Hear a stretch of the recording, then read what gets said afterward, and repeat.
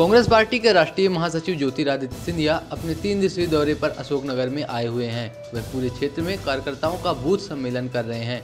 इसी के अंतर्गत मुंगावली में आयोजित कार्यकर्ता बूथ सम्मेलन को संबोधित करते हुए सिंधिया का एक वीडियो सामने आया है, जिसमें वह कार्यकर्ताओं से कहते हुए दिखाई दे रहे हैं कि जिस पोलिंग बूथ पर सत्तर प्रतिशत मतदान या इससे अधिक कांग्रेस पार्टी के पक्ष में होगा, वह 10 लाख रुपए की राशि सांसद से उस बूथ को देंगे। वीडियो में सिंधिया कार्यकर्ताओं से कह रहे हैं कि वे प्रत्येक विधानसभा की ऐसी टॉप पाँच पोलिंग और इस तरह पूरे लोकसभा क्षेत्र में 40 पोलिंग को अपने सांसद निधि से 10-10 लाख रुपए देंगे। उन्होंने स्पष्ट किया कि एक साल में सांसद निधि में 5 करोड़ रुपए आता है, जिसमें से वे 4 करोड़ रुपए उन पोलिंग बूथ को देंगे, जहाँ न्यूनतम 60 प्रतिशत मतदान या इससे अधिक कांग्रेस के पक्ष में होगा। सिंधिया किसी घोषणा को आधार बनाते हुए भारतीय जनता पार्टी की अशोकनगर जिला इकाई के मंत्री अशोक पाटनी ने सोमवार को जिला निर्वाचन अधिकारी से सिंधिया के खिलाफ आचार संहिता के उल्लंघन की शिकायत कर कार्रवाई की मांग की है। दस लाख रुपए प्रति विकास के नाम पर मैं अपने सांसद निधि से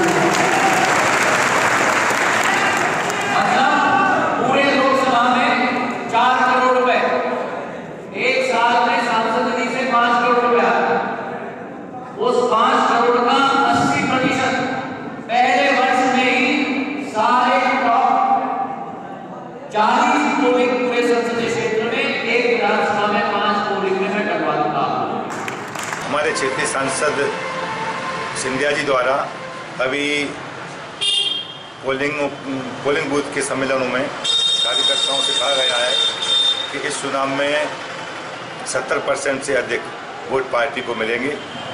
तो उस क्षेत्र के उस गाँव के विकास के लिए वो 70 लाख रुपया दस लाख रुपया सॉरी दस लाख रुपया देंगे।